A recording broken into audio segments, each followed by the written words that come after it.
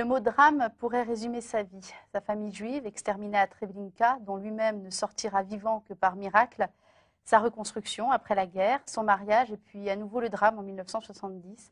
Sa femme et ses quatre enfants disparaissant dans un incendie de forêt qui ravagea leur maison. Cette histoire, il l'a racontée dans un livre édité en 26 langues et lu par 30 millions de personnes. Ce livre s'appelle Au nom de tous les miens. Martha Gray, bonjour. J'ai parlé du mot drame. Vous, vous dites plutôt les cercles de l'enfer. Vous vous considérez, vous êtes, vous vous définissez comme un survivant? Je suis le survivant. C'est parce que ma vie, c'est une longue euh, chaîne euh, d'expériences. Qu'est-ce que c'était cette expérience? Et cette expérience d'abord était celle du ghetto de Varsovie, l'expérience de la guerre. Mm. Mais non seulement l'expérience de la guerre, je dirais l'expérience de la barbarie. C'est-à-dire que j'ai vu, j'ai vu que l'homme pouvait se transformer en animal. J'ai vu, et ce sont les mots que j'emploie dans mon livre, au nom de tous les miens, j'ai vu des animaux au visage d'homme. Mm. Et je vous avoue, moi qui venais d'une famille unie, moi qui venais d'une famille où l'amour, la fraternité, les deux autres étaient les règles de la vie, et brusquement affronter ces animaux au visage d'homme, ces hommes en noir, était pour moi une expérience terrible. J'avais à peine 15-16 ans, et du jour au lendemain, je me suis devenu une, bête traquée. Pire qu'une bête traquée, un enfant pourchassé par des bourreaux, par des, animaux à visage d'homme. Ils ont essayé de me tuer, et j'ai dû vite apprendre à reconnaître dans les yeux des hommes la haine ou l'amitié. Et j'ai souvent vu la haine, on m'a collé contre un mur, on a tiré sur moi, et je voulais mourir les miens, tous les miens. Et je parle à un homme ici. On m'a mis dans un camp, et c'était impossible de croire qu'une affaire pareille existait, que des hommes pouvaient imaginer même. Et si tout à l'heure vous me posez des questions, Emmanuel, j'ai essayé de répondre. Mais j'ai vu aussi dans les yeux des hommes la solidarité et la fraternité. Et je crois que c'est extrêmement important pour moi d'avoir découvert dans ces camps de Treblinka, par exemple, où alors la mort était partout, des hommes étaient capables de partager leur pain. Les hommes étaient capables de partager ce que je dirais encore qui était plus précieux encore que leur pain, la dernière partie de leur force physique pour m'aider moi, moi qui n'étais rien pour eux qu'un frère en malheur. Et cette expérience, c'était pour moi si vitale, si capitale que je n'avais jamais oublié qu'à côté du mal, qu'à côté des bourreaux, qu'à côté des animaux au visage d'homme, l'homme est capable de prendre et de garder le visage du bien. Dans l'enfer, j'ai rencontré la solidarité et la fraternité, et j'ai ainsi redécouvert ce que mon père m'a toujours dit, que tout est possible. Tout est possible, ça veut dire que la fraternité est possible. Et puis j'en passe, je me suis enfui de ce camp de la mort pour rejoindre à nouveau le ghetto de Varsovie, pour y participer dans l'insurrection du ghetto où j'ai vu mon père tué devant mes yeux. Et quand le ghetto était complètement détruit, je me suis évadé par égout, rejoindre les maquis russes-polonais avec qui j'ai combattu jusqu'à l'arrivée de l'armée soviétique en Pologne. Et puis je suis devenu membre de l'armée rouge et avec cette armée, je suis rentré en Allemagne. À Berlin. Dans Berlin.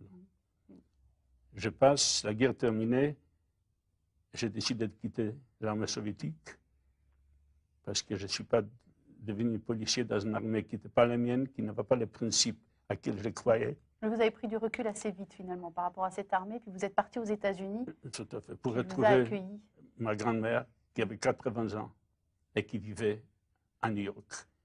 Et puis en Amérique, en Amérique, j'ai fait fortune. Dans les antiquités. C'est ça. Certains ont de la fortune. Moi, je n'ai pas honte. Je ne dois rien en héritage. Je travaillais comme un fou, sans trop souvent pourquoi, mais je travaillais et j'ai compris une autre loi de notre vie, c'est-à-dire que celui qui sait ce qu'il veut, c'est lui qui sait où il va, eh bien celui-là a déjà fait la moitié du chemin. Je l'ai appris pendant la guerre, j'ai appris après. Mais cette fortune que j'ai entassée en Amérique, à quoi me serva-t-elle Eh bien, pour aider mes plus proches parents, mes amis, mais pour moi, moi j'étais comme un homme assis sur un sac de blé et qui a faim. J'étais riche et j'étais mendiant. Pourquoi? Parce que je n'avais pas trouvé ce que je cherchais, parce que je n'avais pas trouvé les vraies raisons, parce que je n'avais pas trouvé plutôt les vrais besoins de ma vie. Et les seuls besoins c'est ce que j'appelle simplement l'amour. Que vous avez trouvé euh, avec euh, Dina?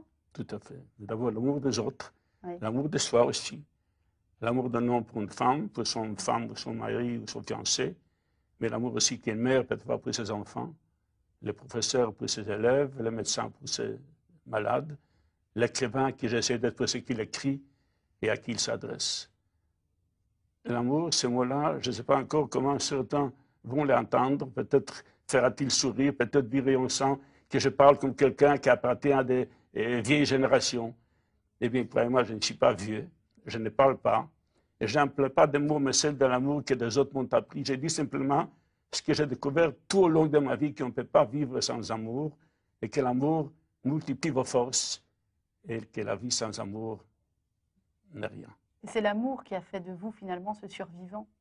Si je suis aujourd'hui là, c'est mm. grâce à l'amour. Et je vais dire encore quelques mots de l'amour, si vous permettez. Ah oui. Les cinémas, les écrans de télévision sont remplis aujourd'hui de films qui l'ont dit érotiques. Mm. Et je pourrais vous citer les titres que vous connaissez. Il y a même l'éducation sexuelle dans les écoles et après. Est-ce que cela nous rapproche de l'amour? Est-ce que cela crée un miracle qui consiste à rencontrer quelqu'un dont la seule présence va transformer votre vie? Moi, j'ai connu cela. Et j'ai connu d'abord les aventures et j'ai connu la solitude qu'il laisse. Car comment nouer des liens humains avec quelqu'un si on ne cherche pas à comprendre ce qu'il est, si on se contente de son, de son apparence, de son corps? Et puis, je rencontré ma femme, ma femme Dina, et je brusquement cessé d'être mendiant. Et je souhaite à tous et à toutes de faire cette rencontre, celle comme je fais. Pourquoi? Parce qu'alors, cesse la solitude et j'ai laissé la solitude une tragédie.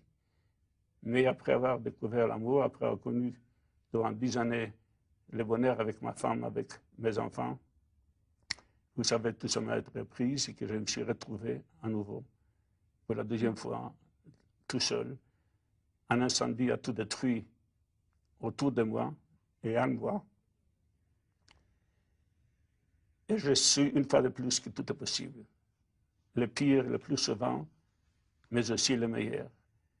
Car dans ma tragédie, voilà ce que j'ai découvert une nouvelle force grâce au mien j'ai découvert que l'homme en lui une force infinie, qu'il est porteur d'énergie psychique, qu'il est lié ou s'est créé cette énergie psychique. Ils doivent connaître cette existence de cette énergie pour pouvoir transformer sa vie. Et non seulement j'ai transformé ma vie, mais j'ose dire aujourd'hui, sans prétention, que j'ai transformé beaucoup de gens qui sont aujourd'hui vivants grâce à mes paroles, grâce à mes livres. Je vous remercie beaucoup, Martin. On va continuer cette conversation, si vous voulez bien. Merci.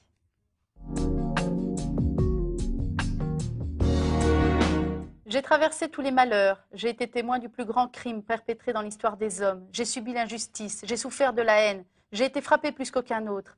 J'ai connu la disgrâce de voir disparaître ceux auxquels j'avais donné la vie, et il n'est pire malheur. Et cependant, parce que j'ai côtoyé des hommes généreux, prêts à tout donner d'eux-mêmes pour les autres, parce que j'ai été bouleversée par le geste d'une mère, la beauté d'un tableau et l'infinie douceur d'une sonate, je suis heureux d'avoir connu cette aventure exaltante qu'est la vie.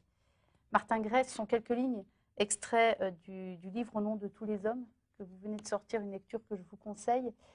Quelques lignes que j'ai voulu lire parce qu'elles euh, se terminent par la vie et que vous êtes la preuve vivante qu'on peut vouloir et pouvoir s'en sortir, vouloir et pouvoir vivre je pense que je suis un bon exemple que c'est possible.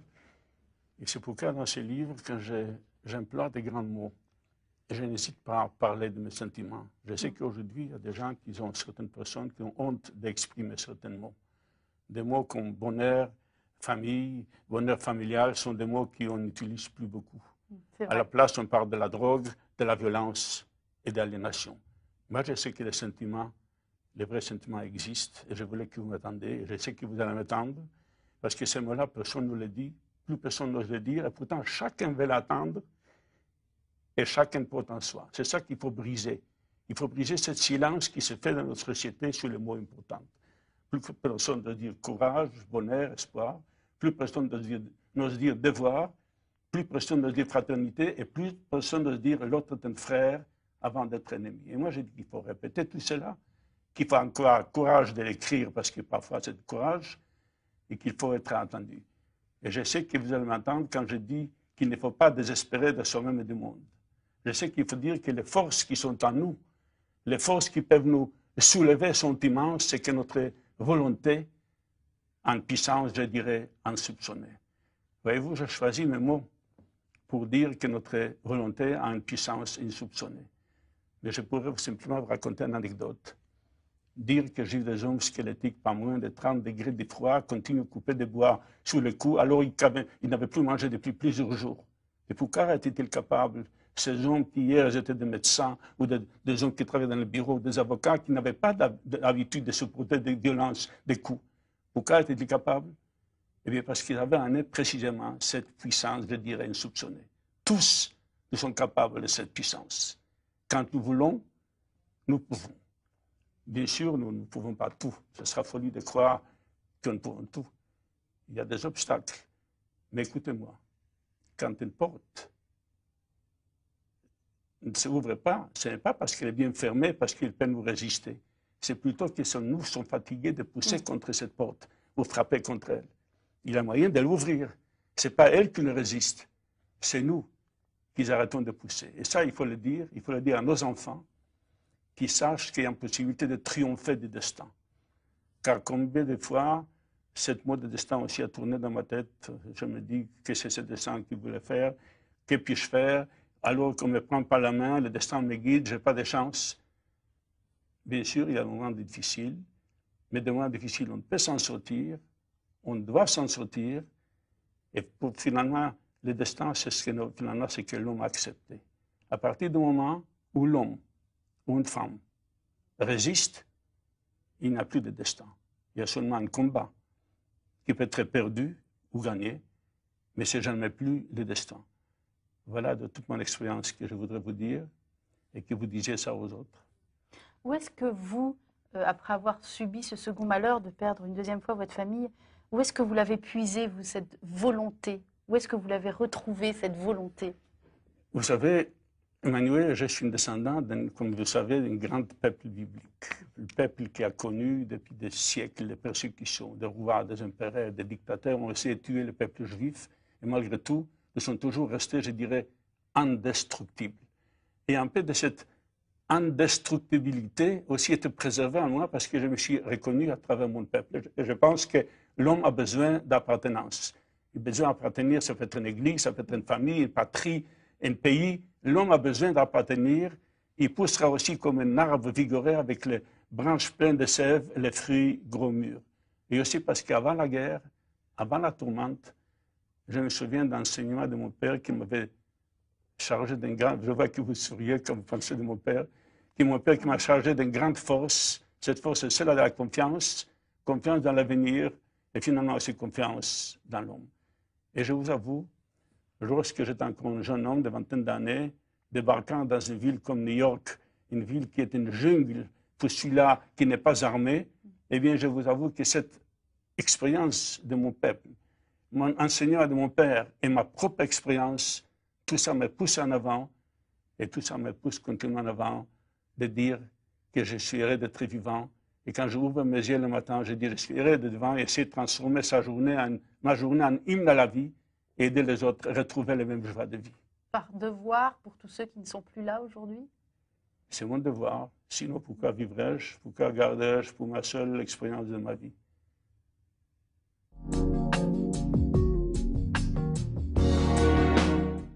Extrait du livre de la Genèse. L'homme a connu Ève, sa femme. Elle conçut et enfanta Caïn. Elle donna aussi naissance à Abel, frère de Caïn. Le temps passa. Un jour, Caïn dit à son frère Abel Allons dehors. Et comme ils étaient en pleine campagne, Caïn se jeta sur son frère Abel et le tua. Martin Grèce n'est pas un hasard si j'ai choisi cet extrait de l'Ancien Testament. Caïn et Abel, c'est le sous-titre de votre livre, Au nom de tous les hommes, parce qu'il personnifie Caïn le mal Abel le bien qu'on a tous en nous. On a tous du Cain et de l'Abel en nous. Justement, c'est pourquoi dans ce livre que vous citer, il référence à Cain et Abel s'imposer à moi. Parce que ce premier crime, ce meurtre de frères, c'est ce que nous répétons, ce que l'homme répète depuis d'origine. Je crois qu'il y, a en nous cette lutte perpétuelle entre les principes de bien et les principes de mal en chacun de nous. Et je m'explique.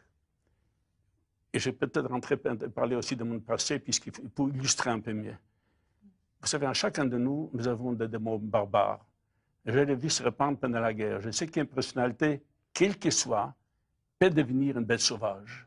Je sais que moi, comme les autres, nous sommes ou étions guettés par ce destin.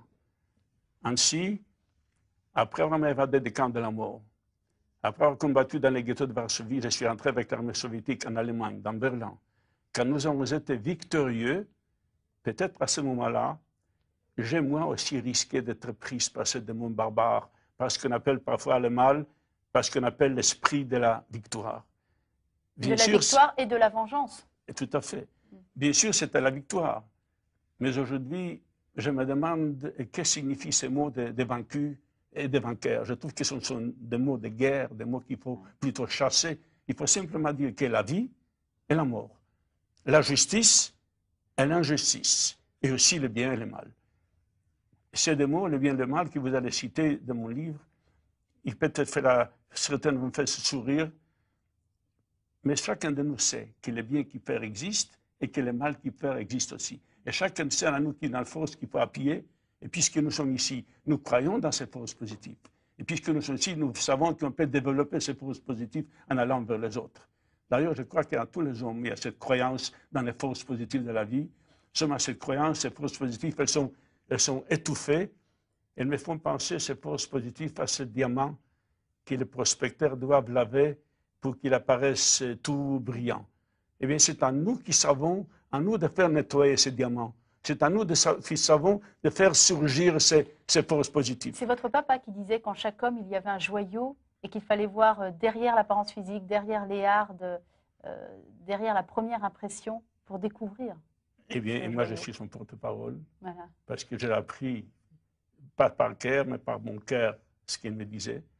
Et je, justement, je disais qu'il faut surgir ce positif pour, pour, aller vers les autres. Mais il faut aller vers les autres pour qu'à dire, pour qu'à faire.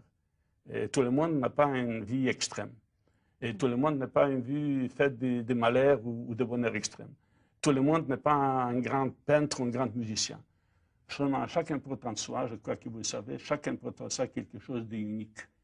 C'est quelque chose d'unique. Certains diront que c'est une âme, d'autres diront que c'est un caractère, eh bien, c'est quelque chose d'unique qu'il faut d'abord laisser briller, et puis ensuite, il faut les montrer, les faire partager. Je crois que ce qui est le plus important, c'est de faire partager. Partager pourquoi? D'abord parce que ça donne de la joie. Manger son pain seul dans un, dans un coin, c'est manger du pain sec, et très vite, il vous, il vous étouffe. Et briser ce pain, donner un parti, celui-là qui passe à un de vos fils, un de vos proches, ou même à un inconnu, c'est multiplier. Vous voyez, je retrouve les phrases qui sont connus dans les temples, dans les synagogues, dans les églises du monde. Car il y a de vérité que l'homme a tout de suite trouvé, et malgré ce qu'ils nous ont parfois, ils sont dissimulés à nous, eh bien, quand la vie nous a marqués, on la retrouve. Eh bien, je disais tout à l'heure qu'il faut faire partager cette partie unique qui est à nous, la faire partager pour la donner, pour donner aux autres. Voilà un petit peu ce que je voulais dire. Euh, vous, parlez dans votre livre, euh, vous avez employé un mot fort que vous avez créé, le prince médiatique qui véhicule le mal et qui, euh, qui réveille, qui réveille le monstre qui est en nous, qui, sommeille en nous. Le prince médiatique, c'est principalement la télévision quand même. Bien, je n'accuse pas vous personnellement la télévision en, en général. Et, aussi dans mon livre, je parle de ça. Vous savez, j'ai toujours des images devant mes yeux, des images, une d'un enfant squelettique, au visage émacié, avec des gros yeux dévorant son visage qui exprime euh, le, désespoir et la faim. Et à d'autres bouts, un autre enfant, au corps obèse, assis devant son écran de télévision, esclave de cette prince médiatique que vous parlez tout à l'heure, gavé de cette nourriture frélatée, et, de, de l'esprit illusion médiatique, et celle de, de, nourriture trop sucrée, trop grasse. Ces deux enfants, ces deux visages de ces deux enfants, c'est les deux visages de notre humanité malade aujourd'hui. Et ce prince médiatique a une grande, grande responsabilité. Euh, vous, vous êtes perçu comme un, témoin exemplaire, un héros, même certains disent un mythe. Euh, vous réagissez comment à ça? Donc quelqu'un qui symbolise le bien, qui symbolise Abel. Je suis simplement un homme qui a beaucoup d'expérience, qui n'a pas appris dans les livres, qui a appris dans la vie. Je suis un homme debout. Je ne suis pas un philosophe, ni un savant, ni un médecin. Je suis simplement un homme qui essaye de, de dire ce qu'il a vécu, pourquoi elle a vécu, pourquoi elle continue à vivre, pourquoi elle continue à espérer. Je vous propose de terminer avec la fin de la lecture du livre de la Genèse. Dieu dit à Caïn, Qu'as-tu fait? Écoute le sang de ton frère crier vers moi du sol. Maintenant sois maudit et chassé du sol fertile qui a ouvert la bouche pour recevoir de ta main le sang de ton frère. Si tu cultives le sol, il ne te donnera plus son produit. Tu seras un errant parcourant la terre. Alors Caïn dit à Dieu, Mais le premier venu me tuera. Et Dieu mit un signe sur Caïn, afin que le premier venu ne le frappât point.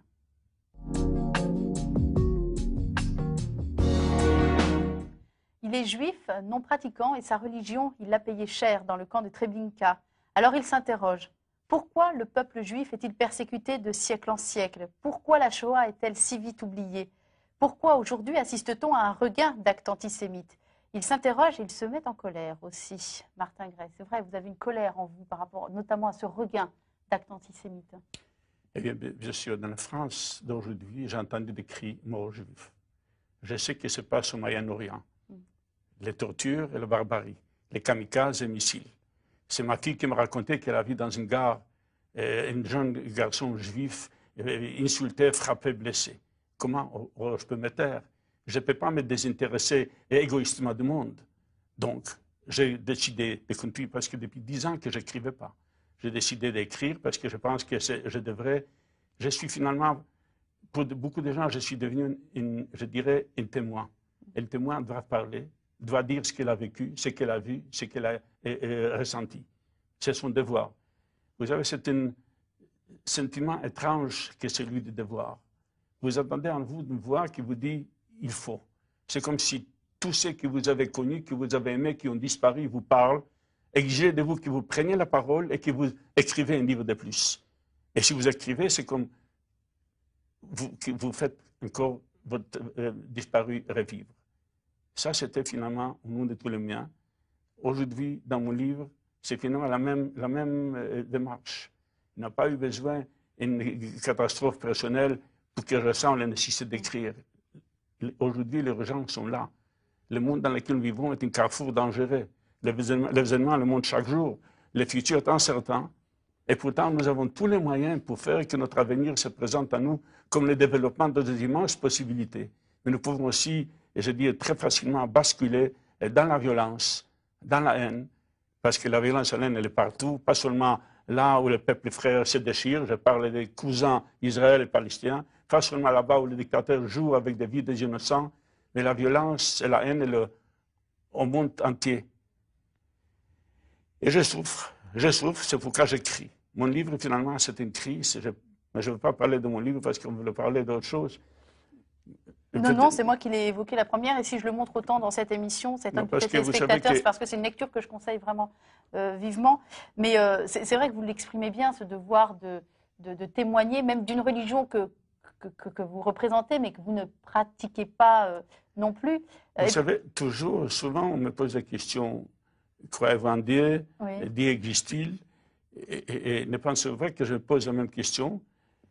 Je pense que ceux qui ont lu, je, ne peux pas dire que je, ne crois, pas en Dieu. Mais est-ce que je peux dire je crois en Dieu?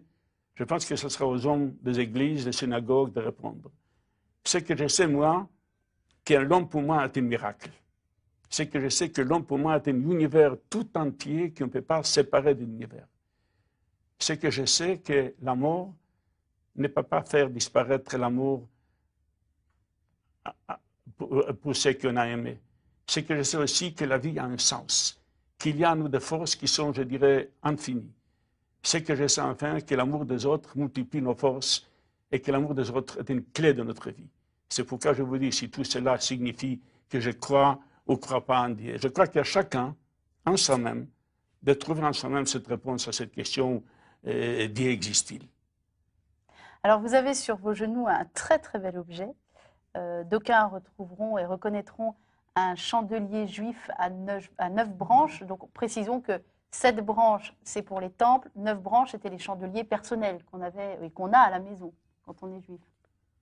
On a chez nous, on avait aussi Voilà. une, la même chose, pas la même chose, mais une, une des neuf branches à la maison.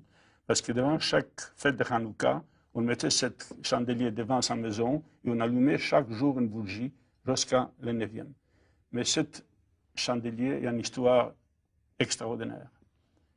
Il y a environ 10 ou 15 ans, un jour, quelqu'un vient chez moi dans ma maison sur la côte d'Azur. Il vient de Pologne. Il vient parce qu'il a lu dans mon livre mon histoire. Il a amené cet article.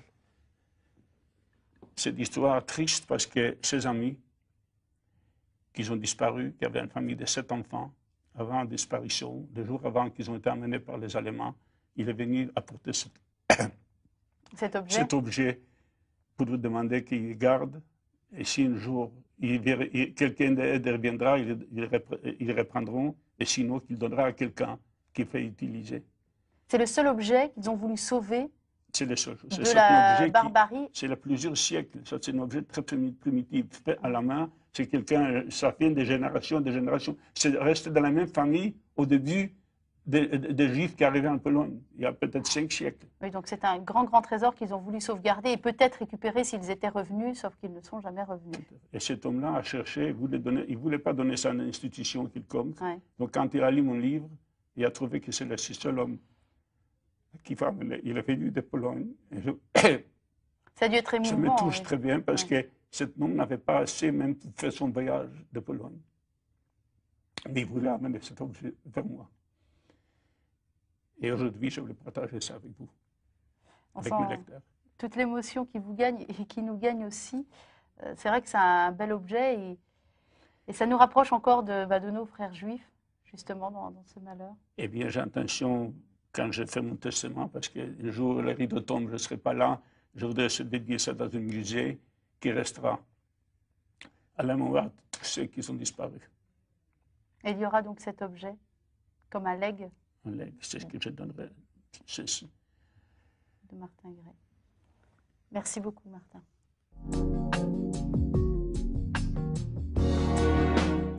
La solitude, il l'a éprouvée dans le ghetto de Varsovie, puis à Treblinka, il l'a éprouvée après la disparition de sa famille dans un incendie.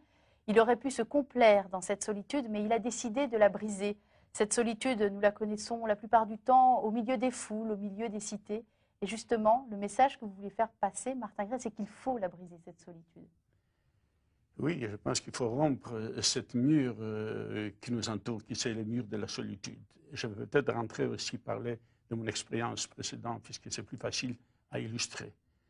Vous voyez, quand j'étais dans les ghettos de Varsovie, il m'est arrivé de rencontrer des hommes et des femmes qui n'étaient pas plus mauvais que d'autres, mais qui ont cru que la solution de leurs problèmes, c'est de s'enfermer dans leur solitude.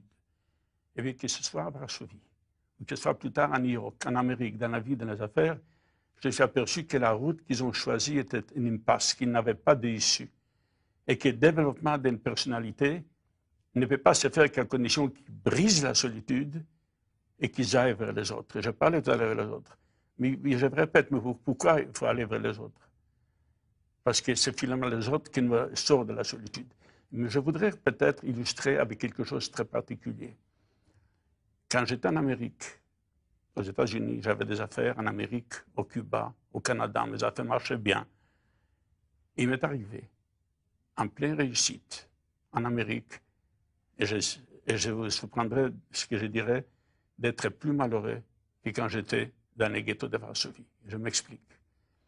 Parce que quand j'étais dans les ghettos de Varsovie, et que j'emportais clandestinement la nourriture pour le peuple, la famille du ghetto, ma vie avait un sens noble.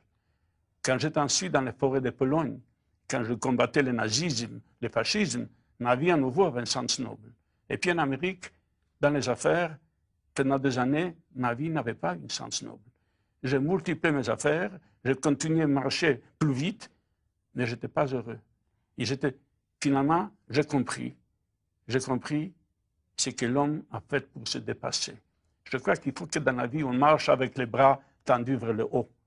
Parce que si on n'élève pas ses bras vers le haut, si on a simplement comme but pour ramasser des biens matériels, ramasser des pierres, un jour ou l'autre, on s'apercevra, ce qu'on essaierait contre sa poitrine n'était que de la poussière. D'ailleurs, vous avez connu une véritable nuit, hein. vous le racontez, que pendant plusieurs heures, vous êtes resté prostré, la tête dans les mains, à plus savoir, à vous dire, mais est-ce que j'ai survécu pour vivre comme ça Tout à fait. Ça a été, c'est ça. C'est pourquoi je me suis dit qu'il faut savoir ouvrir les bras, croire, et savoir perdre pour mieux approcher l'essentiel et marcher avec les bras, comme je disais, ma- euh, euh, lever vers le haut.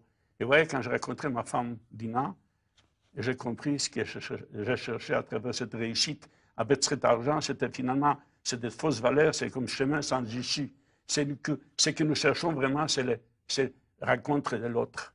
L'autre, pour moi, est bien sûr une femme, mais l'autre peut être un homme, une femme qui vous comprend, avec qui vous pouvez dialoguer, avec qui vous pouvez construire une véritable existence. C'est pourquoi, quand j'ai rencontré ma femme Dina, j'ai liquidé toutes mes affaires et j'ai compris que je cherchais à travers cette réussite, c'était des fausses valeurs. Et j'ai trouvé le chemin de la vie. Et vous êtes allégé. J'ai allégé et je suis parti donc d'Amérique, m'installer en France. Vous connaissez l'histoire. Malheureusement, s'il n'avait eu pas ce drame terrible, j'avais trouvé une femme qui était une des, des personnes, une- une- une- je n'ai pas, d'adjectif dire parce que ça me fait trop mal parler. Vous êtes euh, aujourd'hui de nouveau marié, vous êtes l'heureux papa de cinq enfants. Vous arrivez à leur transmettre à vos cinq enfants euh, justement euh, ce, besoin, enfin, cette envie euh, d'aller vers les autres et de tendre la main? Vous savez, l'homme qui a traversé ce que j'ai traversé, l'homme qui avait l'inspiration d'un père que j'avais, j'avais un père qui était l'homme le plus que j'admirais au monde, qui m'a tellement donné, j'ai je ne vais pas tri- tricher, je ne suis pas un traître, je devrais simplement transmettre ce que la route est tracée pour moi. La route est tracée pour moi et j'essaie à mes enfants, pas seulement à mes enfants, aux autres enfants, parce que j'ai fait des conférences, je raconte des enfants, mais j'essaie de transmettre à mes enfants ce que mon père m'a donné et qu'un jour, eux aussi marcheront vers un meilleur avenir, vers un monde un peu plus juste, un peu plus fraternel et plus Et moins Humain. égoïste Et moins égoïste et moins égoïste. Mais ça, c'est un apprentissage journalier. Vous savez, vous avez aussi une fille qui a deux ans et demi, mais il faut déjà commencer avec elle parce que finalement, on, on peut facilement devenir égoïste à cet âge-là déjà, surtout à cet âge-là. Ah bon, mais alors qu'est-ce que vous me donnez comme conseil? Le conseil, vous êtes, je vais pas vous dire, vous êtes maman, vous allez, vous allez faire ce que votre cœur vous dira. Gâtez-les comme il faut, il faut les gâter quand même. Oui. Oui, c'est ce que je fais avec mes enfants. Euh, les enfants, les proches, et puis, euh, vous, vous l'aviez déjà un petit peu évoqué euh, dans une conversation précédente, aussi les inconnus. Aller vers les inconnus, c'est peut-être ce qu'il y a de plus beau finalement, d'aller vers un inconnu. Vous, c'est un inconnu qui vous a sauvé la vie euh, dans le ghetto de Varsovie euh, en vous disant mettez-vous dans la file de droite et pas dans celle de gauche au moment Et moi, j'ai le toujours, dans le moment le plus difficile de ma vie, j'ai toujours rencontré une de ces âmes nobles pour m'aider, pour me soutenir. Et aujourd'hui, je fais la même chose. J'essaie de simplement repayer cette dette que j'en versais qui m'ont aidé. Sinon, je n'aurais rien compris de la vie. C'est mon devoir de le faire. Sinon, je dirais encore pourquoi vivrais-je? Je crois que c'est ce que vous êtes, Martin Gray, c'est une âme noble. Merci.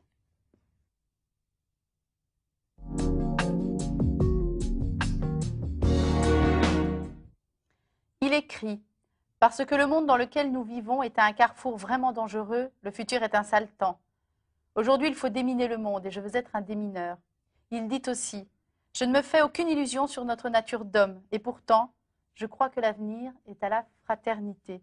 Et c'est peut-être cela, la vraie réussite, euh, Martin Gray, croire à la fraternité et croire en l'amour, malgré voilà, un passé. Eh bien, je devrais Difficile. faire des commentaires puisque vous avez tout dit dans ces quelques mots. Tout à fait. C'est ça la réussite. Oui, parce qu'aujourd'hui, le mot réussite, réussir quoi? Car derrière, derrière ces mots de réussite, les uns en place, les uns en place un montant d'argent, les autres des grands titres dans les journaux. Pour certains, c'est trouver une nouvelle femme. Et pour les autres, réussir une beaucoup au bridge ou au poker. Mm. Et bien, réussir, ça veut dire d'avoir trouvé cet équilibre, cette paix, cette tranquillité que je le sais bien parce que j'ai vécu moi-même sont ce que chacun d'entre nous, chacun d'entre nous recherche d'abord. Cette paix, cette, je dirais, respiration plus légère que nous avons connue à un moment de notre, vie qui est brusquement euh, disparu pour faire place aux, soucis, aux angoisses. C'est cela la réussite, et non pas l'état de vie, et non pas les titres dans les journaux, et non pas la rencontre, la conquête, je devrais dire, d'une femme ou d'une situation. Seulement cette réussite Il faut savoir comment l'entendre. Et c'est pourquoi je suis ici et c'est pourquoi j'écris mon dernier livre. Voyez-vous, quand mon éditeur m'avait demandé ce qu'il y avait dans ce livre, puisqu'il a fait un, grand tirage exceptionnel, parce qu'il croit dans ce livre comme je crois, eh bien, je lui dis qu'il y a dans ce livre des secrets. Des secrets qui ne sont pas des secrets, mais qui sont devenus des secrets parce que le sable les a recouverts. Et moi, parce que ma vie était faite que j'étais contraint à découvrir ces vérités oubliées, moi, j'ai remué ce sable et j'ai sorti au-dessus de chaque grain de sable ces vérités oubliées, ces secrets qui permettent l'équilibre de notre vie. Or, plus que jamais aujourd'hui, l'équilibre est difficile à atteindre et plus que jamais il est nécessaire. Pourquoi est-il difficile à atteindre aujourd'hui? Parce qu'au fond, nous nous posons constamment la question pourquoi? Pourquoi ces événements qui déferlent autour de nous? Où allons-nous? Et je sens bien autour de moi, quand je traverse des villes d'Amérique d'où je reviens, Canada où j'étais il y a quelques semaines, Paris ou Rome où mes livres sont publiés maintenant, eh bien je sens bien autour de moi une atmosphère grise, une atmosphère, je dirais, d'inquiétude. Et la peur, je pense qu'on est gouverné par la peur qui nous empêche de réussir. Et ce n'est pas la psychologie qui en a cause. En fait, tout un système que nous avons cru éternel est en train de craquer. Pensez par exemple à ce que nous avons cru. Et j'écris comme tout le monde que nous étions rentrés dans l'ère de l'abondance. C'était évidemment une contre-vérité, puisqu'au moment où nous vivions le gaspillage, eh bien, dans différentes parties du monde, des centaines, des milliers d'hommes, de femmes, des enfants mouraient de faim. Savez-vous, Emmanuel, qu'il suffit, l'année dernière, il suffit pour utiliser ces quelques pays riches en Europe occidentale ont jeté comme viande dans les poubelles pour sauver des millions d'hommes dans les Sahel africaines Eh bien, je dis, quand le monde arrive à ce degré de misère d'un côté et le gaspillage de l'autre, quelque chose de très profond est en cause. Je dis qu'une crevasse se creuse peu à peu et que la civilisation dont nous sommes si fiers est rongée par un cancer. Où allons-nous? Je ne sais répondre exactement. Mais ce que je peux dire, c'est que cela ne peut pas continuer. Ne peut pas continuer le développement infini de la communication de forces souterraines. Ne peut pas continuer le développement infini de cette ville gigantesque qui mange les prairies, qui mange les champs de biais, qui mange l'atmosphère. Et, surtout, ne peut pas continuer cette course de vitesse qui est devenue notre, notre vie. Alors, vous, vous, êtes, euh, vous parlez, mais vous agissez aussi. Vous êtes un homme d'acte. Vous avez fondé euh, différentes fondations. Justement, euh, il y a eu l'opération, par exemple, Un enfant, un arbre, où chaque enfant devait planter un arbre. la fondation donc, de, votre épouse, Dina. Dina Gray. Dina Gray, voilà, la fondation Dina Gray. Et vous avez aussi voulu faire une fondation qui s'appelait Futur, pour aider les adolescents, c'était quoi À trouver des repères aussi dans leur vie, à se construire, à trouver des valeurs en tant qu'homme, en tant que femme Je voulais qu'ils bâtissent une, une, meilleure avenir, ce que j'ai connu moi. Je voudrais, je voudrais qu'à part du monde, il y a plus d'enfants qui connaissent ce que j'ai connu moi. C'est ce que je train de faire. C'est aussi pour ce livre que je viens d'écrire maintenant. C'est la même démarche. Mm. Vous voyez, je n'ai pas beaucoup changé. Je suis toujours l'homme. Je n'ai pas beaucoup changé de l'homme quand j'étais dans les ghettos de Varsovie. Seulement les armes, grâce au Dieu, ont changé. Parce que dans les ghettos, je me suis battu avec l'arme dans la main. Aujourd'hui, mon arme, c'est ma parole, c'est mes livres, c'est la fondation que j'ai créée. Mais finalement, je suis l'homme pareil, toujours révolté, pas contre, mais pour. Euh, vous visitez, euh, vous l'avez déjà dit, vous visitez les écoles aussi. Euh, je fais des conférences à l'école. Je passe la plupart de mon temps dans les écoles, dans les lycées, dans l'université. J'ai besoin de raconter parce que je pense que c'est important pour les jeunes que cette histoire, qu'ils connaissent ce qui nous ont arrivé dans, dans les camps, à Treblinka, etc., je, crois que ce témoignage est nécessaire pour que ça continue à vivre. C'est pourquoi il faut coudre, je dirais recoudre, pour comprendre que l'histoire humaine et que connaître le passé, c'est être mieux préparé pour comprendre le présent et peut-être empêcher une future barbare. C'est pourquoi je me le fais, c'est pourquoi j'écris ces livres-là et c'est pourquoi je fais ce que je fais. Et vous restez optimiste quand même pour l'avenir? Eh bien, si je n'étais pas optimiste, comment je serais arrivé jusqu'à là C'est l'optimisme qui me pousse en avant, mais j'ai beaucoup, je, suis inquiet aussi. Et cette inquiétude, finalement, mon livre, je peux résumer en disant, c'est un, cri, un simple cri, un mot, assez. assez de haine, assez de racisme, assez de euh, euh, euh, euh, euh, tout cet isme. Il faudra surtout dire assez d'égoïsme. Et toujours se, se nourrir du principe espérance aussi, Il s'est nourri avec humanisme. avec C'est humanisme. que mon père était un grand humaniste et ça en a l'air dans son nom que je parle. Merci beaucoup, Martin Gray.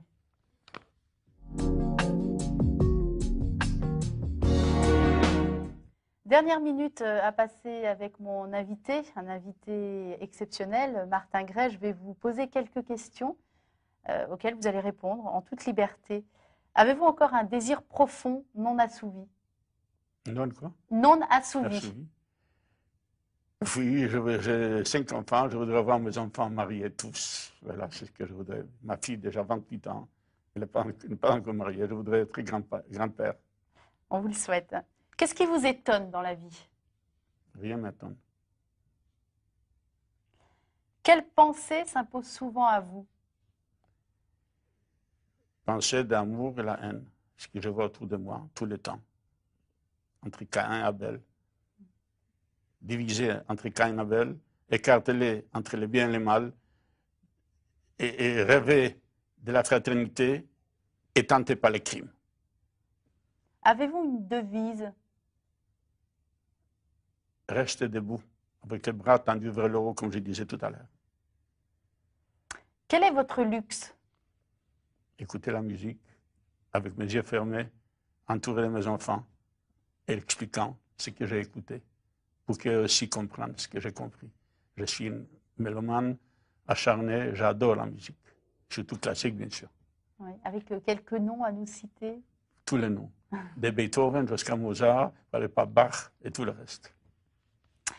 Musique sacrée surtout, Oui. c'est ce que je préfère.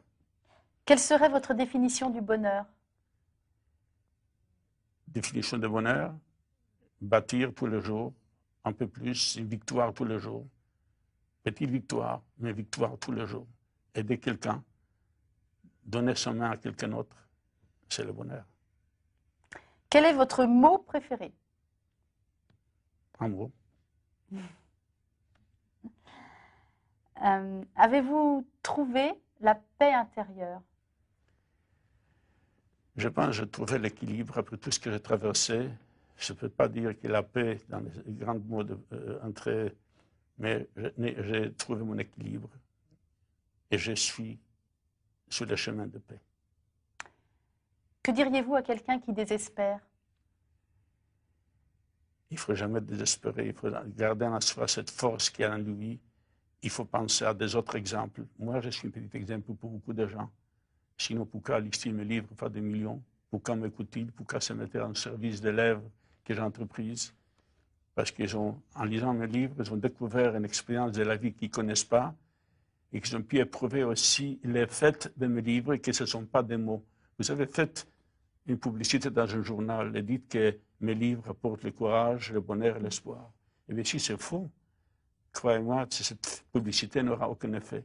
Mais si vous avez un lecteur qui dit autour de lui, comme j'ai entendu dire parce qu'ils ont vécu cela, j'étais déprimé, j'étais désespéré, je ne savais pas ce que le sens de ma vie, et je, brusquement j'ai lu des livres de Martin Gray, et ma vie s'est transformée. Eh bien, si ces personnes deviennent des propagandises d'un livre, des livres touchent des millions de cœurs. Donc, cette personne qui vous, qui vous parlait, je l'invite. Mes livres sont des bibliothèques qui le lisent. Peut-être trouvera-t-il un peu d'écho de sa propre pensée, peut-être solution à, son problème. Alors, j'ai entre mes mains une. Vous recevez des dizaines et des dizaines de lettres par jour de gens qui vous lisent. J'ai entre mes mains une de ces lettres. Et celui qui vous écrit d'ailleurs est metteur en scène et dit Votre âme apparaît comme la corde d'un instrument qui vibre lorsque le même son extérieur à celui-ci résonne. De cet échange naît une musique simple, belle, harmonieuse et vraie. Ça vous touche? Ça me touche parce qu'il me compare avec la musique, avec des Voilà. cordes de sang, bien sûr. Je suis tellement euh, euh, dedans. Je regrette une chose dans ma vie que je n'ai jamais appris la musique. Je, je joue le piano, mais je joue par cœur. Mais je voudrais bien, c'est un peu trop tard. C'est mes enfants qui, ont- qui commencent maintenant à prendre des leçons, le plus petit. Le plus petit qui a 10 ans. Tout à fait. qui a 10 ans. Qu- Qu'aimeriez-vous euh, que Dieu vous dise quand vous le rencontrerez? Tu à chemin de toi, allez jusqu'au bout. Je lui écouterai parce que j'ai déjà écouté depuis longtemps. Oui. Martin Gray, l'émission se termine. Je voudrais montrer une dernière fois euh, votre livre, Au nom de tous les hommes, sous-titré Cain et Abel. C'est aux éditions du Rocher. Euh, si je lui fais de la publicité à ce livre, c'est d'abord parce qu'il est profond, qu'on y apprend évidemment des choses, que vous donnez une route à suivre, une route exigeante. Dites ce que vous pensez, vous, de ce Mais livre. voilà, mais c'est ce que je vous dis. Euh, une route exigeante, mais une route euh, que vous avez taillée, vous, avec votre expérience. Vous dites d'ailleurs vous-même que l'histoire vous a mis là, à des événements, que le destin vous a placé à des événements, et puis bon, vous avez réussi à survivre à tout ça. Et puis je le dis aussi parce que les droits d'auteur, euh, vous ne les gardez pas pour vous, vous les Je distribuez n'ai jamais, touché mes droits d'auteur. J'ai toujours donné à des actions voilà, humanitaires. à des actions humanitaires. Mais c'est important de le dire. Oui, c'est important. mais Moi, j'ai gagné ma vie depuis longtemps. Je suis depuis 35 ans, quand je suis retiré des affaires. Ce n'est pas maintenant que j'ai commencé à faire des affaires. Voilà, donc euh, en achetant le livre aussi, sachez que vous participez à une action humanitaire. Voilà, une dernière fois. Je voudrais vous remercier, euh, Martin Gray, pour cette formidable leçon de courage que vous nous donnez, euh, pour votre colère aussi, mais une colère qui est un, un bouillonnement qui est agissant. Je voudrais vous remercier pour tout ça. Si c'est un cri de colère, mais c'est aussi un cri d'angoisse, mais aussi un cri d'espoir. Et un cri d'amour aussi. Donc, voilà. Euh, J'espère qu'il aura été entendu par euh, le maximum de personnes. On vous souhaite quoi pour euh, la suite? Pas besoin de souhaiter. C'est déjà fait. La route est tracée pour moi. Elle va vers une bonne direction. Merci beaucoup, Martin Gray. Au revoir. Merci à vous.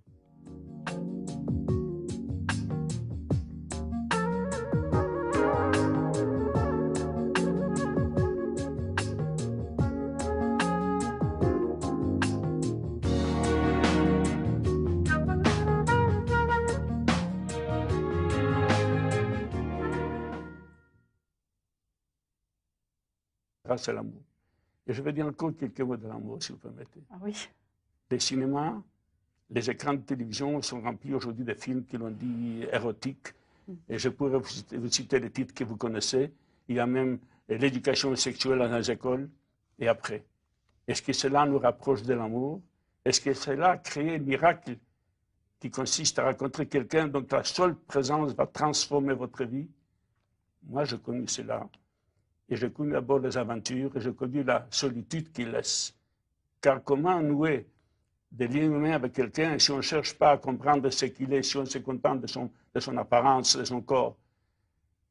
Et puis, j'ai rencontré ma femme, ma femme Dina, et j'ai brusquement cessé d'être mendiant. Et je souhaite à tous et à toutes de faire cette rencontre, celle comme je fais. Pourquoi? Parce qu'alors, cesse la solitude et je laissé la solitude une tragédie. Mais après avoir découvert l'amour, après avoir connu durant dix années le bonheur avec ma femme, avec mes enfants, vous savez, tout ça m'a été pris et que je me suis retrouvé à nouveau, pour la deuxième fois, tout seul. Un incendie a tout détruit autour de moi et en moi. Et je suis une fois de plus que tout est possible. Le pire, le plus souvent, mais aussi le meilleur. Car dans ma tragédie, voilà ce que j'ai découvert une nouvelle force. Grâce au mien, j'ai découvert que l'homme en lui une force infinie, qu'il est porteur d'énergie psychique, qu'il est lié ou s'est créé cette énergie psychique. Ils doivent connaître cette existence de cette énergie pour pouvoir transformer sa vie. Et non seulement j'ai transformé ma vie, mais j'ose dire aujourd'hui, sans prétention, que j'ai transformé beaucoup de gens qui sont aujourd'hui vivants grâce à mes paroles, grâce à mes livres.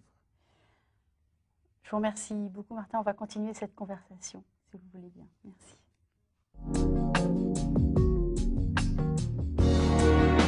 J'ai traversé tous les malheurs, j'ai été témoin du plus grand crime perpétré dans l'histoire des hommes, j'ai subi l'injustice, j'ai souffert de la haine, j'ai été frappé plus qu'aucun autre. J'ai connu la disgrâce de voir disparaître ceux auxquels j'avais donné la vie, et il n'est pire malheur. Et cependant, parce que j'ai côtoyé des hommes généreux, prêts à tout donner d'eux-mêmes pour les autres, parce que j'ai été bouleversé par le geste d'une mère, la beauté d'un tableau et l'infinie douceur d'une sonate, je suis heureux d'avoir connu cette aventure exaltante qu'est la vie. Martin Gray, ce sont quelques lignes extraits euh, du livre Au nom de tous les hommes que vous venez de sortir, une lecture que je vous conseille. Quelques lignes que j'ai voulu lire parce qu'elle se termine par la vie et que vous êtes la preuve vivante que on peut vouloir et pouvoir se mettre en colère aussi, Martin Gray. C'est vrai, vous avez une colère en vous par rapport notamment à ce regain d'actes antisémites. Eh bien, bien sûr, dans la France d'aujourd'hui, j'ai entendu des cris morts aux juifs. Je sais ce qui se passe au Moyen-Orient. Mm. Les tortures et la barbarie, les kamikazes et missiles. C'est ma fille qui me racontait qu'elle a vu dans une gare euh, un jeune garçon juif insulté, frappé, blessé. Comment je peux me taire? Je ne peux pas me désintéresser égoïstement du monde. Donc, j'ai décidé de continuer parce que depuis dix ans que je n'écrivais pas. J'ai décidé d'écrire parce que je pense que je devrais. Je suis finalement, pour beaucoup de gens, je suis devenu, une, je dirais, un témoin. Et le témoin doit parler, doit dire ce qu'il a vécu, ce qu'il a vu, ce qu'il a ressenti. C'est son devoir. Vous savez, c'est un sentiment étrange que celui du devoir. Vous attendez en vous une voix qui vous dit il faut. C'est comme si tous ceux que vous avez connus, que vous avez aimés, qui ont disparu, vous parlent, exigez de vous que vous preniez la parole et que vous écrivez un livre de plus. Et si vous écrivez, c'est comme vous, que vous faites encore votre euh, disparu revivre. Ça, c'était finalement au nom de tous les miens. Aujourd'hui, dans mon livre, c'est finalement la même, la même euh, démarche. N'a pas eu besoin d'une catastrophe personnelle pour que je ressente la nécessité d'écrire. Aujourd'hui, les gens sont là. Le monde dans lequel nous vivons est un carrefour dangereux. Les événements le montrent chaque jour. Le futur est incertain. Et pourtant, nous avons tous les moyens pour faire que notre avenir se présente à nous comme le développement de des immenses possibilités. Mais nous pouvons aussi, et je dis très facilement, basculer dans la violence, dans la haine, parce que la violence la haine, elle est partout, pas seulement là où le peuple frère se déchire, je parle des cousins Israël et Palestiniens, pas seulement là-bas où le dictateur joue avec des vies des innocents, mais la violence et la haine elle, au monde entier. Et je souffre, je souffre, c'est pourquoi j'écris. Mon livre, finalement, c'est une crise. Je, mais je ne veux pas parler de mon livre parce qu'on veut parler d'autre chose. Non, non, c'est moi qui l'ai évoqué la première. Et si je le montre autant dans cette émission, c'est un petit téléspectateur, c'est parce que c'est une lecture que je conseille vraiment euh, vivement. Mais euh, c'est vrai que vous l'exprimez bien, ce devoir de, de, témoigner, même d'une religion que, que, que, vous représentez, mais que vous ne pratiquez pas euh, non plus. Vous savez, toujours, souvent, on me pose la question croyez-vous en Dieu Dieu existe-t-il? Et, ne pensez pas que je pose la même question? Je pense que ceux qui ont lu, je, ne peux pas dire que je, ne crois, pas en Dieu. Mais est-ce que je peux dire je crois en Dieu? Je pense que ce sera aux hommes des églises, des synagogues de répondre. Ce que je sais, moi, que l'homme pour moi est un miracle. C'est que je sais que l'homme pour moi est un univers tout entier qu'on ne peut pas séparer d'un univers. C'est que je sais que ce pas elle qui nous résiste, c'est nous qu'ils arrêtons de pousser. Et ça, il faut le dire, il faut le dire à nos enfants, qui sachent qu'il y a une possibilité de triompher du destin. Car combien de fois, cette mode de destin aussi a tourné dans ma tête, je me dis que c'est ce destin qu'il voulait faire, que puis-je faire? Alors qu'on ne me prend pas la main, le destin me guide, je n'ai pas de chance. Bien sûr, il y a des moments difficiles, mais des moments difficiles, on peut s'en sortir, on doit s'en sortir, et pour finalement le destin, c'est ce que l'homme a accepté. À partir du moment où l'homme ou une femme résiste, il n'a plus de destin. Il y a seulement un combat qui peut être perdu ou gagné, mais c'est jamais plus le destin. Voilà de toute mon expérience que je voudrais vous dire et que vous disiez ça aux autres. Où est-ce que vous, euh, après avoir subi ce second malheur de perdre une deuxième fois votre famille, où est-ce que vous l'avez puisé, vous, cette volonté? Où est-ce que vous l'avez retrouvé, cette volonté? Vous savez, Emmanuel, je suis un descendant, comme vous savez, d'un grand peuple biblique. Le peuple qui a connu depuis des siècles les persécutions, des rois, des empereurs, des dictateurs ont essayé de tuer le peuple juif. Et malgré tout, ils sont toujours restés, je dirais, indestructibles. Et un peu de cette indestructibilité aussi été préservée en moi parce que je me suis reconnu à travers mon peuple. Et je pense que l'homme a besoin d'appartenance. Il a besoin d'appartenir, ça peut être une église, ça peut être une famille, une patrie, un pays. L'homme a besoin d'appartenir. Il poussera aussi comme un arbre vigoureux avec les branches pleines de sève et les fruits gros mûrs. Et aussi parce qu'avant la guerre, avant la tourmente, je me souviens d'enseignement de mon père qui m'avait chargé d'un grand. Je vois que vous souriez quand vous pensez de mon père. Qui mon père qui m'a chargé d'une grande force. Cette force, c'est celle de la confiance, confiance dans l'avenir et finalement aussi confiance dans l'homme. Et je vous avoue, lorsque j'étais encore un jeune homme de vingtaine d'années, débarquant dans une ville comme New York, une ville qui est une jungle pour celui-là qui n'est pas armé, eh bien, je vous avoue que cette expérience de mon peuple, mon enseignant de mon père et ma propre expérience, tout ça me pousse en avant et tout ça me pousse continuellement en avant de dire que je suis heureux d'être vivant. Et quand j'ouvre mes yeux le matin, je dis je suis heureux d'être vivant et essayer de transformer sa journée ma journée en hymne à la vie aider les autres à retrouver les mêmes joies de vie. Par devoir pour tous ceux qui ne sont plus là aujourd'hui? C'est mon devoir. Sinon, pourquoi vivrais-je? Pourquoi garderais-je pour ma seule expérience de ma vie?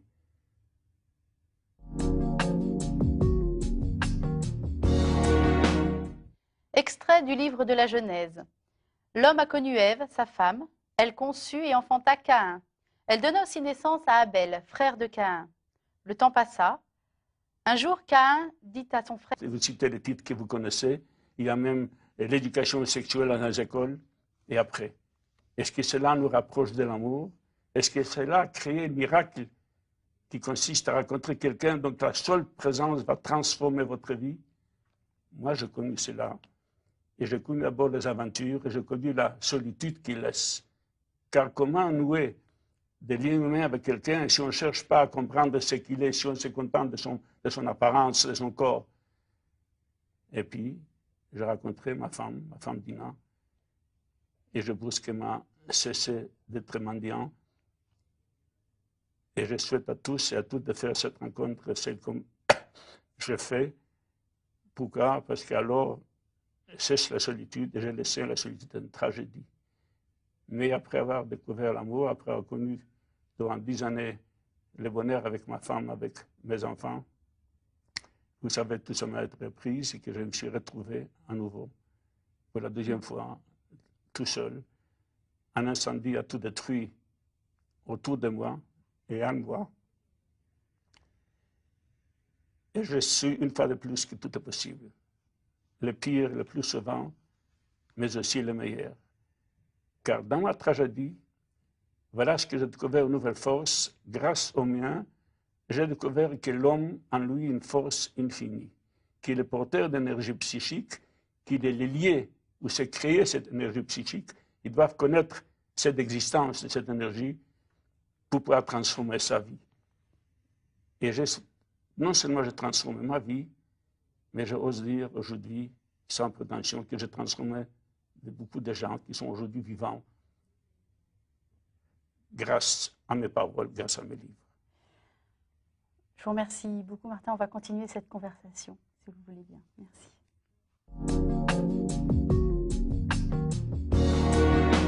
J'ai traversé tous les malheurs, j'ai été témoin du plus grand crime perpétré dans l'histoire des hommes, j'ai subi l'injustice, j'ai souffert de la haine, j'ai été frappé plus qu'aucun autre, j'ai connu la disgrâce de voir disparaître ceux auxquels j'avais donné la vie, et il n'est pire malheur. Et cependant, parce que j'ai côtoyé des hommes généreux, prêts à tout donner d'eux-mêmes pour les autres, parce que j'ai été bouleversé par le geste d'une mère, la beauté d'un tableau et l'infinie douceur d'une sonate, je suis heureux d'avoir connu cette aventure exaltante qu'est la vie. Martin Grèce sont quelques lignes extraits euh, du livre Au nom de tous les hommes, que vous venez de sortir, une lecture que je vous conseille quelques lignes que j'ai voulu lire parce qu'elles se terminent par la vie et que vous êtes la preuve vivante qu'on peut vouloir et pouvoir s'en sortir, vouloir et pouvoir vivre. Je pense que suis un bon exemple que c'est possible. Et c'est pourquoi dans ces livres que j'implore des grands mots. C'est a plusieurs siècles, c'est un objet très primitif, fait à la main. C'est quelqu'un, ça vient des générations, des générations. C'est resté dans la même famille au début des, Juifs qui arrivaient en Pologne, il y a peut-être cinq siècles. Oui, donc c'est un grand, grand trésor qu'ils ont voulu sauvegarder et peut-être récupérer s'ils étaient revenus, sauf qu'ils ne sont jamais revenus. Et cet homme-là a cherché, il ne voulait pas donner ça à une institution quelconque. Donc quand il a lu mon livre, il a trouvé que c'est le seul homme qui va Il est venu de Pologne. ça a dû être. Ça me touche très bien parce que cet homme n'avait pas assez même pour faire son voyage de Pologne. Mais il voulait amener cet objet vers moi. Et aujourd'hui, je voulais partager ça avec vous, avec mes lecteurs. Toute l'émotion qui vous gagne et qui nous gagne aussi. Euh, C'est vrai que c'est un bel objet et, et ça nous rapproche encore de, bah, de nos frères juifs, justement, dans, dans ce malheur. Eh bien, j'ai intention, quand je fais mon testament, parce que le jour où le rideau tombe, je ne serai pas là, je voudrais se dédier ça dans un musée qui restera à la mémoire de tous ceux qui sont disparus. Et il y aura donc cet objet comme un legs C'est ce que je donnerai. ceci. de Martin Gray. Merci beaucoup, Martin.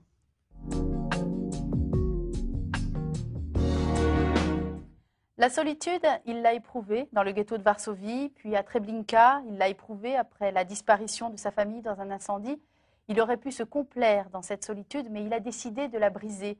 Cette solitude, nous la connaissons la plupart du temps au milieu des foules, au milieu des cités.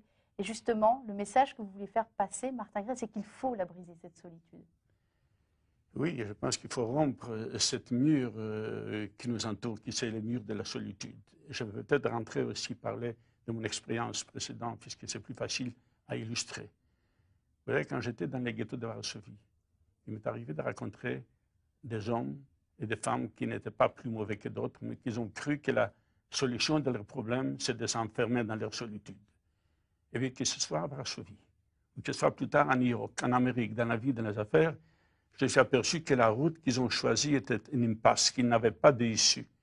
Et que le développement d'une personnalité ne peut pas se faire qu'à condition qu'ils brisent la solitude et qu'ils aillent vers les autres. Je parlais tout à l'heure vers les autres. Mais je répète, mais pourquoi il faut aller vers les autres? Parce que c'est finalement les autres qui nous sortent de la solitude. Mais je voudrais peut-être illustrer avec quelque chose de très particulier. Quand j'étais en Amérique, aux États-Unis, j'avais des affaires en Amérique, au Cuba, au Canada, mes affaires marchaient bien. Il m'est arrivé, en pleine réussite, en Amérique, et je, vous surprendrai ce que je dirais, d'être plus malheureux que quand j'étais dans les ghettos de Varsovie. Je m'explique. Parce que quand j'étais dans les ghettos de Varsovie, Pour aider les adolescents, c'était quoi? Trouver des repères? Aussi dans leur vie, à se construire, à trouver des valeurs en tant qu'homme, en tant que femme je voulais qu'ils bâtissent un meilleur avenir, ce que j'ai connu moi. Je voudrais, je voudrais qu'à part de monde, il y a plus d'enfants qui connaissent ce que j'ai connu moi. C'est ce que je suis en train de faire. C'est aussi pour ce livre que je viens d'écrire maintenant. C'est la même démarche. Vous voyez, je n'ai pas beaucoup changé. Je suis toujours l'homme. Je n'ai pas beaucoup changé de l'homme quand j'étais dans les ghettos de Varsovie. Seulement les armes, grâce au Dieu, ont changé. Parce que dans les ghettos, je me suis battu avec l'arme dans la main. Aujourd'hui, mon arme, c'est ma parole, c'est mes livres, c'est la fondation que j'ai créée. Mais finalement, je suis l'homme pareil, toujours révolté, pas contre, mais pour. Euh, Vous visitez, euh, vous l'avez déjà dit, vous visitez les écoles aussi. Euh, vous, Je fais vous des allez voir les conférences à enfants. l'école. Je passe la plupart de mon temps dans les écoles, dans les lycées, dans l'université. J'ai besoin de raconter parce que je pense que c'est important pour les jeunes que cette histoire, qui- qui connaissent ce qui nous ont arrivé dans, dans les camps, à Treblinka, etc. Je, crois que ce témoignage est nécessaire pour que ça continue à vivre. C'est pourquoi il faut coudre, je dirais recoudre, pour comprendre que la histoire humaine et que connaître le passé, c'est être mieux préparé pour comprendre le présent et peut-être empêcher une future barbare. C'est pourquoi je me l'ai fait, c'est pourquoi j'ai écrit ces livres-là et c'est pourquoi je fais ce que je fais.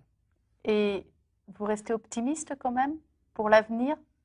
Eh bien, si je n'étais pas optimiste, comment je serais arrivé jusqu'à là C'est l'optimisme qui me pousse en avant, mais j'ai beaucoup, je, suis inquiet aussi. Et cette inquiétude, finalement, mon livre, je peux résumer en disant, c'est un cri, un simple cri, un mot, assez. Assez de haine, assez de racisme, assez de euh, euh, euh, euh, euh, euh, tout cet isme. Il faudra surtout dire assez d'égoïsme.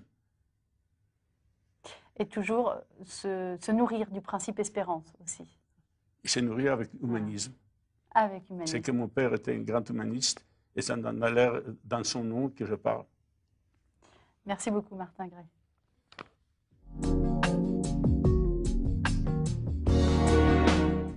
Dernière minute euh, à passer avec mon invité, un invité exceptionnel, Martin Gray. Je vais vous poser quelques questions euh, auxquelles vous allez répondre en toute liberté. Avez-vous encore un désir profond, non assouvi? Non, quoi? Non assouvi. Assouvi. Oui, j'ai cinq enfants, je voudrais voir mes enfants mariés tous. Voilà, c'est ce que je voudrais. Ma fille, déjà 28 ans, elle n'est pas, pas encore mariée. Je voudrais être grand-père. On vous le souhaite. Qu'est-ce qui vous étonne dans la vie? Rien m'étonne. Quelle pensée s'impose souvent à vous? Pensée d'amour et la haine, ce que je vois autour de moi tout le temps. Près de Pologne, quand je combattais le nazisme, le fascisme, ma vie à nouveau avait un sens noble. Et puis en Amérique, dans les affaires, pendant des années, ma vie n'avait pas un sens noble. J'ai multiplié mes affaires, j'ai continué à marcher plus vite, mais je n'étais pas heureux. Et finalement, j'ai compris. J'ai compris ce que l'homme a fait pour se dépasser. Je crois qu'il faut que dans la vie, on marche avec les bras tendus vers le haut. Parce que si on n'élève pas ses bras vers le haut, si on a simplement comme but pour ramasser des biens matériels, ramasser des pierres, un jour ou l'autre, on s'apercevra ce qu'on essaierait contre sa poitrine n'était que de la poussière. D'ailleurs, vous avez connu une véritable nuit, hein. vous le racontez, que pendant plusieurs heures, vous êtes resté prostré, la tête dans les mains, à plus savoir, euh, à vous dire, mais est-ce que j'ai survécu pour vivre comme ça? Tout à fait. Ça a été, c'est ça. C'est pourquoi nuit. je me suis dit qu'il faut savoir ouvrir les bras, croire, savoir perdre pour mieux approcher l'essentiel et marcher avec les bras, comme je disais, ma- lever vers le haut. Et vous voyez, quand j'ai rencontré ma femme Dina, j'ai compris ce que je cher- je cherchais à travers cette réussite. Avec cet argent, c'était finalement c'est des fausses valeurs, c'est comme chemin sans issue. C'est que, ce que nous cherchons vraiment, c'est la rencontre de l'autre. L'autre, pour moi, sûr une femme, mais l'autre peut être un homme, une femme qui vous comprend, avec qui vous pouvez dialoguer, avec qui vous pouvez construire une véritable existence. C'est pourquoi, quand j'ai rencontré ma femme Dina, j'ai liquidé toutes mes affaires et j'ai compris que je cherchais à travers cette réussite, c'était des fausses valeurs. Et j'ai trouvé le chemin de la vie. Et vous êtes allégé. J'ai allégé et je suis parti donc d'Amérique, m'installer en France. Vous connaissez l'histoire. Malheureusement, s'il n'avait eu pas ce drame terrible, j'avais trouvé une femme qui était une des, une- une- une- je n'ai pas d'adjectif dire parce que ça me fait trop mal parler. Vous êtes euh, aujourd'hui de nouveau marié, vous êtes l'heureux papa de cinq enfants. Vous arrivez à leur transmettre à vos cinq enfants euh, justement euh, ce, besoin, enfin, cette envie euh, d'aller vers les autres et de tendre la main?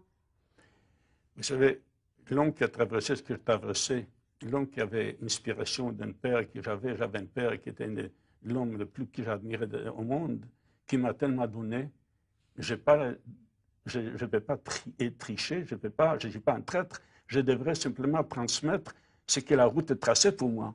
La route est tracée pour moi et j'essaie à mes enfants, pas à mes enfants, aux autres enfants, parce que j'ai fait des conférences, je raconte des enfants, mais j'essaie de transmettre à mes enfants ce que mon père m'a donné et qu'un jour, eux aussi marcheront vers un meilleur avenir, vers un monde un peu plus juste, un peu plus fraternel et plus Et moins Humain. égoïste Et moins égoïste et moins égoïste. Mais ça, c'est un apprentissage journalier. Savez, je vous avoue que cette expérience de mon peuple, mon enseignant de mon père et ma propre expérience, tout ça me pousse en avant et tout ça me pousse continuer en avant de dire que je suis heureux d'être vivant.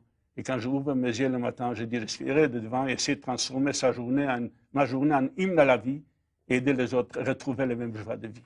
Par devoir pour tous ceux qui ne sont plus là aujourd'hui?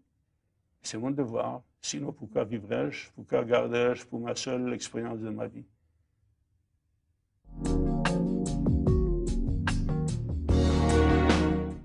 Extrait du livre de la Genèse. L'homme a connu Ève, sa femme. Elle conçut et enfanta Caïn. Elle donna aussi naissance à Abel, frère de Caïn. Le temps passa. Un jour, Caïn dit à son frère Abel Allons dehors.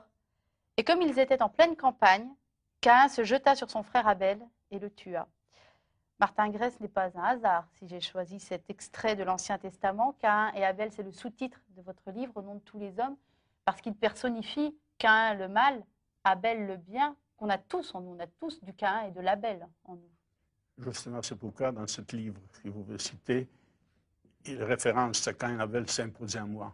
Parce que ce premier crime, ce meurtre de frères, c'est ce que nous répétons, ce que l'homme répète depuis d'origine. Je crois qu'il y a, y a en nous cette lutte perpétuelle entre les principes de bien et principes de mal en chacun de nous. Et je m'explique. Et je vais peut-être rentrer parler aussi de mon passé, puisqu'il pour illustrer un peu mieux. Vous savez, en chacun de nous, nous avons des démons barbares, je l'ai vu se répandre pendant la guerre. Je sais qu'une personnalité, quelle qu'elle soit, peut devenir une bête sauvage. Je sais que moi, comme les autres, nous sommes ou étions guettés par ce destin. Ainsi, après avoir évadé des camps de la mort, après avoir combattu dans les ghettos de Varsovie, je suis entré avec l'armée soviétique en Allemagne, dans Berlin. Quand nous avons été victorieux, peut-être à ce moment-là, j'ai moi aussi risqué d'être pris par ce démon barbare, par ce qu'on appelle parfois le mal, par ce qu'on appelle l'esprit de la victoire. De la victoire et de la vengeance. Tout à fait. Bien sûr, c'était la victoire. Mais aujourd'hui, je me demande que signifient ces mots de, de vaincus et de vainqueurs? Je trouve que ce sont des mots de guerre, des mots qu'il faut plutôt chasser. Il faut simplement dire que la vie et la mort, la justice et l'injustice, et aussi le bien et le mal. Ces deux mots, le bien et le mal, que vous allez citer dans mon livre, ils peut-être faire certains me fait sourire, mais chacun de nous sait que le bien qui fait existe et que le mal qui fait existe aussi. Et chacun sait à nous qui est dans la force qu'il faut appuyer. Et puisque nous sommes ici, nous croyons dans cette force positive. Et puisque nous sommes ici, nous... Et je souhaite à tous et à toutes de faire cette rencontre, celle comme je fais. Pourquoi Parce qu'alors, cesse la solitude et je laisse la solitude une tragédie. Mais après avoir découvert l'amour, après avoir connu durant dix années le bonheur avec ma femme, avec mes enfants, vous savez, tout ça m'a été pris et que je me suis retrouvé à nouveau, pour la deuxième fois, tout seul. Un incendie a tout détruit autour de moi et en moi. Et je suis une fois de plus que tout est possible. Le pire le plus souvent, mais aussi le meilleur. Car dans ma tragédie, voilà ce que j'ai découvert une nouvelle force. Grâce au mien, j'ai découvert que l'homme en lui une force infinie, qu'il est porteur d'énergie psychique, qu'il est lié ou s'est créé cette énergie psychique. Ils doivent connaître cette existence de cette énergie pour pouvoir transformer sa vie. Et non seulement j'ai transformé ma vie, mais j'ose dire aujourd'hui, sans prétention, que j'ai transformé beaucoup de gens qui sont aujourd'hui vivants grâce à mes paroles, grâce à mes livres. Je vous remercie beaucoup, Martin. On va continuer cette conversation, si vous voulez bien. Merci.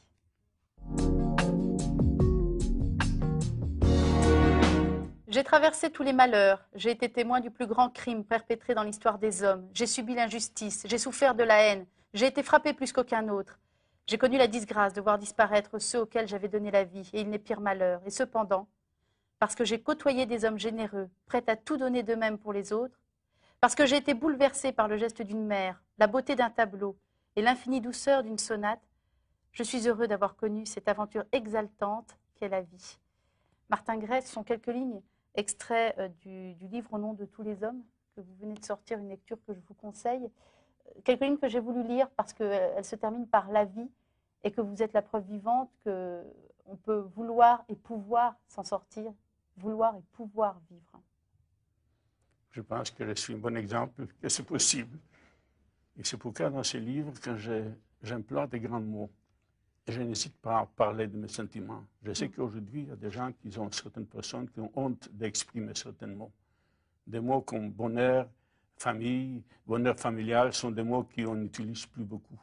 À la place, on parle de la drogue, de la violence et d'aliénation. Moi, je sais que les sentiments, les vrais sentiments existent et je voulais que vous m'attendiez. Je sais que vous allez m'attendre parce que ces mots-là, personne ne les dit, plus personne n'ose les dire et pourtant chacun veut l'attendre et chacun porte en soi. C'est ça qu'il faut briser. Il faut briser ce silence qui se fait dans notre société sur les mots importants. Plus personne ne dire courage, bonheur, espoir. Plus un arbre, euh, la fondation donc, de, votre épouse, euh, Dina. Dina Gray. Dina Gray, voilà, la fondation Dina Gray. Et vous avez aussi voulu faire une fondation qui s'appelait Futur pour aider les adolescents, c'était quoi À trouver des repères aussi dans leur vie, à se construire, à trouver des valeurs en tant qu'homme, en tant que femme Je voulais qu'ils bâtissent une, une, meilleure avenir, ce que j'ai connu moi. Je voudrais, je voudrais qu'à part de moi, il y a plus d'enfants qui connaissent ce que j'ai connu moi. C'est ce que je suis en train de faire. C'est aussi pour ce livre que je viens d'écrire maintenant. Mm. C'est la même démarche. Mm. Vous voyez, je n'ai pas beaucoup changé. Je suis toujours l'homme. Je n'ai pas beaucoup changé de l'homme quand j'étais dans les ghettos de Varsovie. Seulement les armes, grâce à Dieu, ont changé. Parce que dans les ghettos, je me suis battu avec l'arme dans la main Aujourd'hui, mon arme, c'est ma parole, c'est mes livres, c'est la fondation que j'ai créée. Mais finalement, je suis l'homme pareil, toujours révolté, pas contre, mais pour. Euh, vous visitez, euh, vous l'avez déjà dit, vous visitez les écoles aussi. Euh, je fais des conférences les écoles. Je passe la plupart de mon temps dans les écoles, dans les lycées, dans l'université. J'ai besoin de raconter parce que je pense que c'est important pour les jeunes que cette histoire, qu'ils connaissent ce qui nous ont arrivé dans, dans les camps, à Treblinka, etc. Je, crois que ce témoignage est nécessaire pour que ça continue à vivre. C'est pourquoi il faut coudre, je dirais recoudre, pour comprendre que l'histoire humaine et que connaître le passé, c'est être mieux préparé pour comprendre le présent et peut-être empêcher une future barbare. C'est pourquoi je me l'ai fait, c'est pourquoi j'ai écrit ces livres-là et c'est pourquoi je fais ce que je fais. Et vous restez optimiste quand même pour l'avenir? Eh bien, si je n'étais pas optimiste, comment je serais arrivé jusqu'à là C'est l'optimisme qui me pousse en avant, mais j'ai beaucoup, je, suis inquiet aussi. Et cette inquiétude, finalement, mon livre, je peux résumer en disant c'est un, cri, un simple cri, un mot, assez. Assez de haine, assez de racisme, assez de euh, euh, euh, tout cet isme. Il faudra surtout dire assez d'égoïsme. Et toujours se, nourrir du principe espérance aussi. se nourrir avec humanisme. Avec humanisme. C'est que mon père était un grand humaniste et ça a l'air dans son nom que je parle. Merci beaucoup, Martin Gray.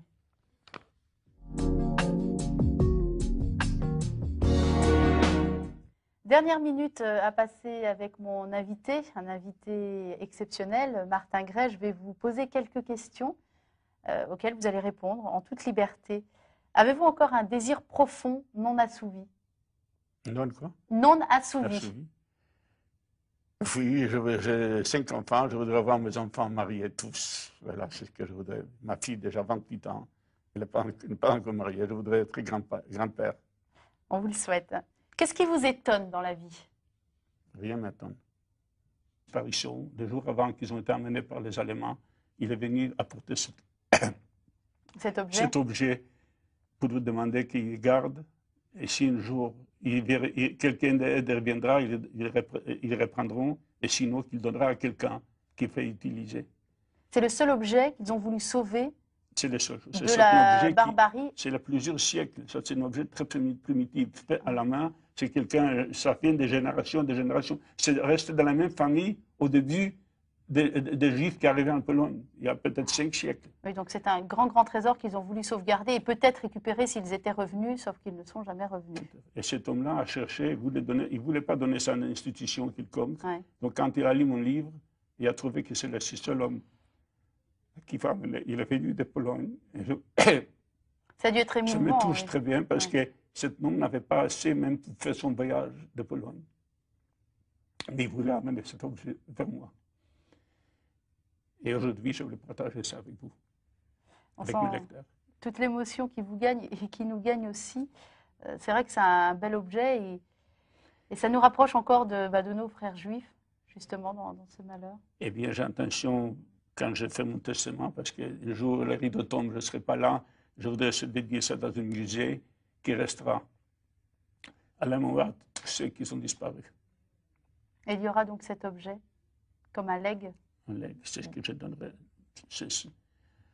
De Martin Gray. Merci beaucoup, Martin.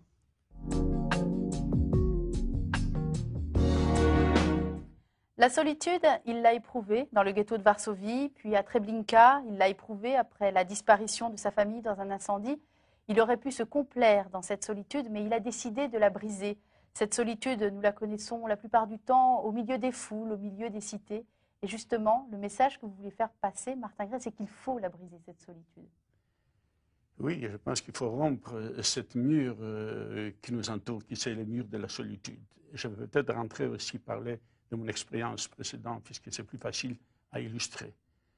Vous voyez, quand j'étais dans les ghettos de Varsovie, il m'est arrivé de rencontrer des hommes et des femmes qui n'étaient pas plus mauvais que d'autres, mais qui ont cru que la solution de leurs problèmes, c'est de s'enfermer dans leur solitude. Et bien, que ce soit à Varsovie, ou que ce soit plus tard en Europe, en Amérique, dans la vie, dans les affaires, je suis aperçu que la route qu'ils ont choisie était une impasse, qu'ils n'avaient pas d'issue. Et que le développement d'une personnalité ne peut pas se faire qu'à condition qu'ils brisent la solitude et qu'ils aillent vers les autres. Je parle d'aller vers les autres. Mais, je répète, mais pourquoi il faut aller vers les autres? Parce que c'est finalement les autres qui me sortent de la solitude. Mais je voudrais peut-être illustrer avec quelque chose de très particulier.